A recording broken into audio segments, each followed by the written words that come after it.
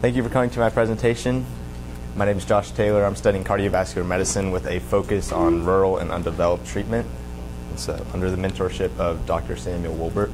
So, a little bit about me. I am a senior this year at Frisco High School. I'm a drum major and I'm a tuba and a tuba player for the band. Um, I, am highly involved with my church, First Baptist Church Frisco. I'm an ISM 2 student. Last year I just studied cardiology. This year I'm adding the extra focus. And I'm interested in a medical career. And so, my quotes for this year my first quote is Whatever you do, do your work heartily as for the Lord rather than men. And so, what that means to me is that whatever I choose to pursue, be it medicine, be it business, whatever it is, that I should be focusing that those efforts on honoring God. And so, if you're doing work for the Lord, it's going to be much more fulfilling. In my opinion. And so, second quote related more to medicine is medicine is the only profession that labors incessantly to destroy the reason for its own existence. And so what that means to me is that doctors are constantly trying to make it so people no longer get sick. And so kind of weird because that's their whole job, right, is to treat sick, sick people. But if they, their real goal is to make it so there aren't any more sick people. And so that's really cool to me.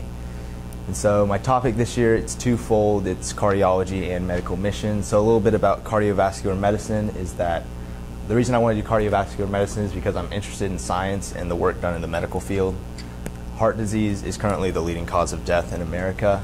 About half the population presents major risk factors for heart disease, and about a quarter of the po population ends up dying from cardiovascular disease in America in developed countries. And so I also have family history of heart disease on my mom's side and my dad's side, and so it's kind of been running in the family. I've grown up around it. And I have previous ISM experience in cardiology, and it was really awesome last year to get to see all that. And so I want to do underdeveloped treatment because I feel like that's a awesome opportunity for like mission work and things like that. And so risk factors of heart disease can be treated easily with medication and physical activity. And the issue you see with that is that in these underdeveloped countries, they don't know about like, heart disease. They don't know what causes heart disease. And so they aren't doing what it takes to prevent it when it's really simple to prevent.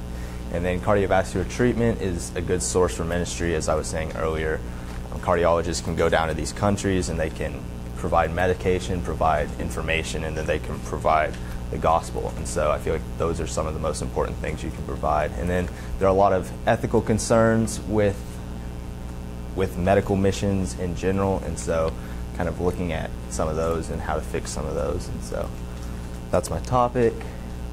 Then some of my research. I've spent most of my time so far this year researching medical missions. I've spent a lot of time last year researching cardiology, and I feel like I have a grasp as well as I can at this point in my educational career. But so I'm kind of trying to understand medical missions and what that looks like. And so, Christian medical missions is the provision of free medical care to to, to, to, other people to show God's love and to share the gospel. And it doesn't have to be in foreign countries, it can be in domestic countries like free dental clinics, free health clinics, things like that. Those can be medical missions, um, but it also is in developing countries.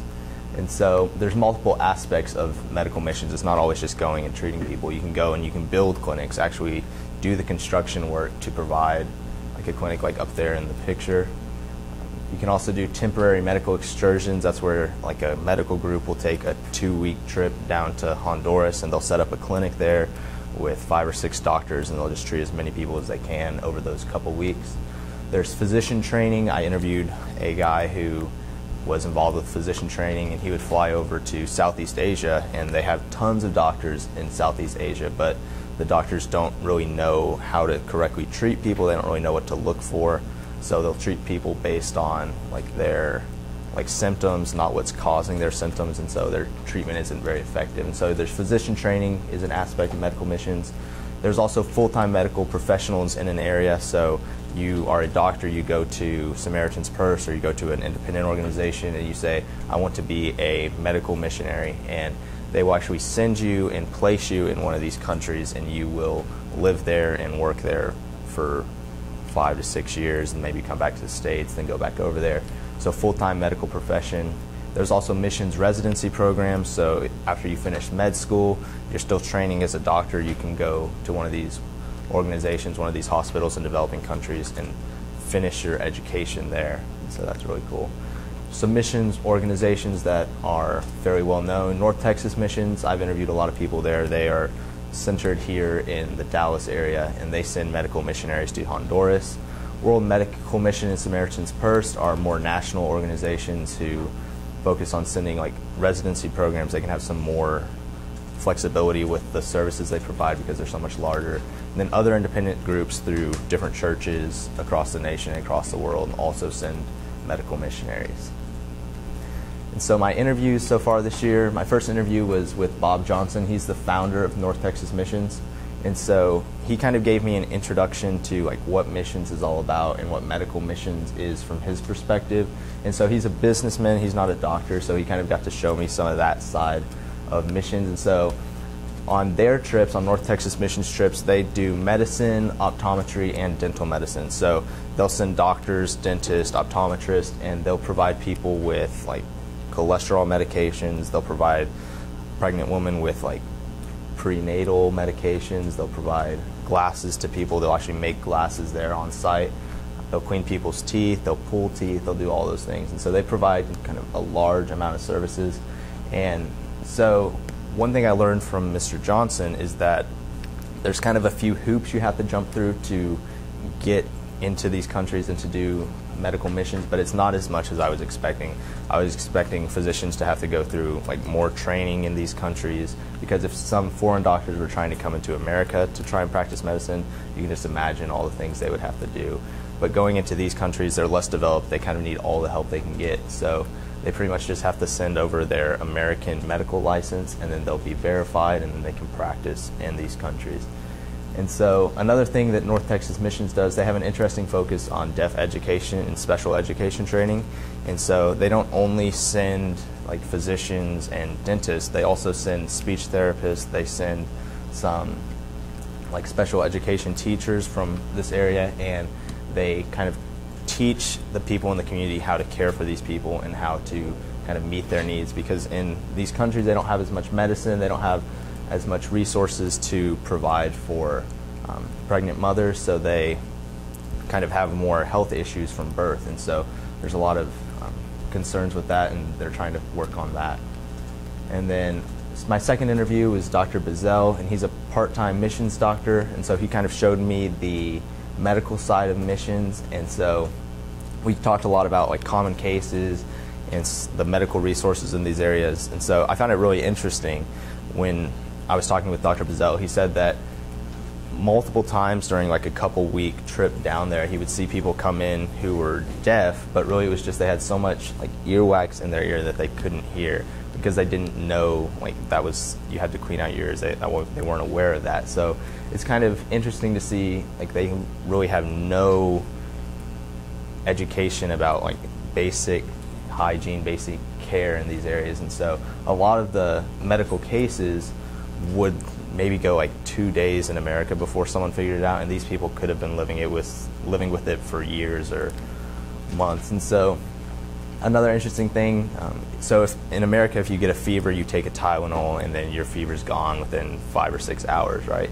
But in these countries, they don't have access to like common medication. They don't have, they don't know to use that, and so people will develop a fever, and they'll be living with that fever for two weeks or three weeks, and the problems with that is you start denaturing some of the proteins in your brain and some of the nerve cells in your brain, and so people will be partly blind, they'll be partly deaf because they've lost some of that tissue, some of that nerve tissue, and so they aren't really communicating with their um, organs, and so it's kind of another interesting thing that's going on in these countries. My third interview was with an optometrist, Dr. Coley Marsh, and so he kind of talked more about optometry and the culture of missions it was really interesting to kind of hear from his perspective because I've pretty much interacted with doctors up to this point, and I say medical doctors up to this point, and he was an optometrist. And so he told me some of the reason why he chose to do optometry rather than medicine. He was actually planning on going to medical school, but he switched into optometry school so he could start a family. And so he talked about optometry. He said it was a way that he could almost get into the field faster. He was really anxious to start practicing and things like that. Um, he also talked about the culture of these areas that he visits. They're much more thankful, they're much more patient, they appreciate their ability to help. He said in Frisco, there's oftentimes you aren't really able to do that much for the people because they come in and you fit them with a pair of glasses and they leave. But with these people, you're able to fit them with a pair of glasses. You're able to like show them like lots of different things they can do now that they can see, and so it's really awesome. And he said his most the most rewarding experience he's had is he's able to share the gospel through these experiences, and so that was really cool to hear. And then my fourth interview was with a registered nurse, Miss Erin Baker, and she talked to me about her personal missions experiences. She said it was extremely eye-opening. She says practicing in America, everybody's almost impatient. Um, people will be like, I want to be treated in five minutes, and they come into a full emergency room and be like really almost mad because they aren't being treated immediately. And so when you go to these areas, people will be waiting in lines for 10 hours, 12 hours just to get a 15 minute checkup. And so she says it's crazy how much more thankful they are about the services you're providing. You don't have to go through as many of the like logistical hoops in these areas. You get to more just practice medicine. And so she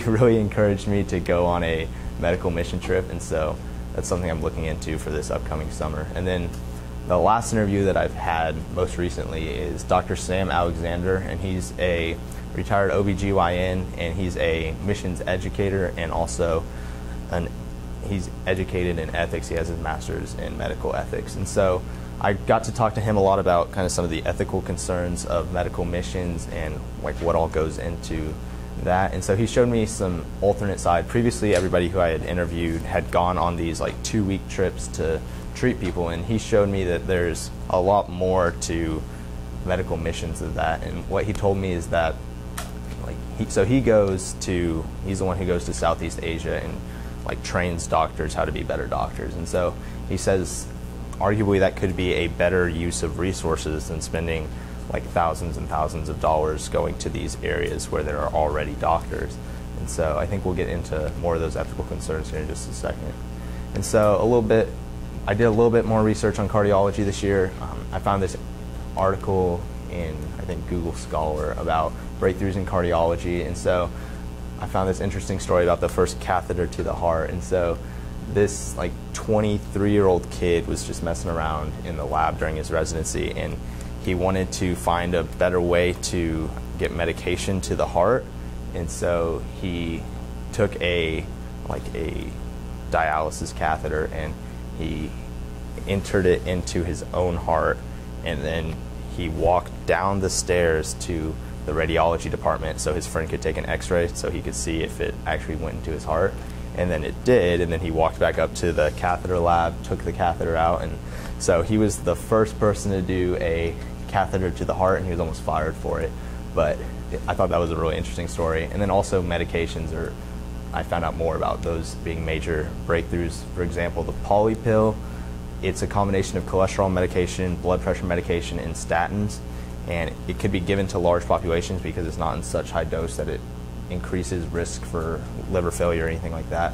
So the use of this in a medical missions type standpoint, you could almost diagnose large populations. Like, I think the statistics the article was referencing was men over the age of 65 in these developing countries because there's not as many men over the age of 65 there. They're at a extreme risk for heart disease, and so it would be a safe bet to give all of them these, this poly pill because it would actually help all of them. So that was an interesting article as well. And then medical ethics, a little bit about that. Medical ethics is asking the question is it a good thing to do and what's the best thing to do? And so a little bit about that, like what resources do different areas need? For example, Honduras right now needs people to go down there for two or three week trips because there just aren't physicians. There's not a public health system in place that can act, like effectively treat these people. And so they'll send doctors down there. But Southeast Asia has thousands and thousands of physicians, almost as many physicians per capita as the United States. So they don't really need more doctors to go over there and treat people. They more they need more people to go over there and teach their doctors how to be better. Um, some countries need more clinics. Some people need specialties, things like that. And then there's also medical ethics concern with foreign residency programs um, because they'll be sending over these like people who are just out of med school to do treatments, which they wouldn't be allowed to do in America. And so that raises the question: Is less quality care still better than no medical care at all? And so that's kind of like that's a battle. Like you, you don't nobody wants bad care, but if you aren't getting any care, you know, bad care might help a little bit. And so that's kind of a ethical concern with medical missions. So that kind of leads into my original work, and what I'm planning on doing is an assessment of the medical needs in developing countries. I'm planning on looking at the doctors per capita, the types of facilities that they have, the accessibility to medical advice and medical, um, I guess, training, physician training and education, and major medical concerns like the Ebola outbreak would be an example of a major major medical concern, and then just basic access to food and water and sanitary um, sanitary resources. And so, what I hope to be able to do in looking at all those kind of features of a country is to be able to see like what they need the most. So, if a medical team was interested in traveling, say to Honduras, what would be the best type of medical team to send there? Who would most who would meet the needs most of Honduras? And so, that's what I'm hoping to do with my original work. And so, it brings me back to my quote. I'm, I believe that medical missions is a way that we can kind of stop the need for more medicine in developing countries, and I feel like it's an awesome way to work for the Lord rather than men. So, thank you.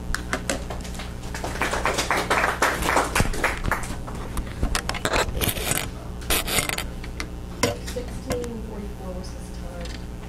Um, Sorry about that, I was trying to switch on your timer and God had something he wanted to say to you, I guess. Um, Have you researched like, um, different, I know you've done some of the different countries, but have you, with those, because you were saying some need supplies, some need to train the doctors, Yeah. some actually need doctors. Yeah. Um, Have you, have you ever kind of geographically put something together? That's what I'm hoping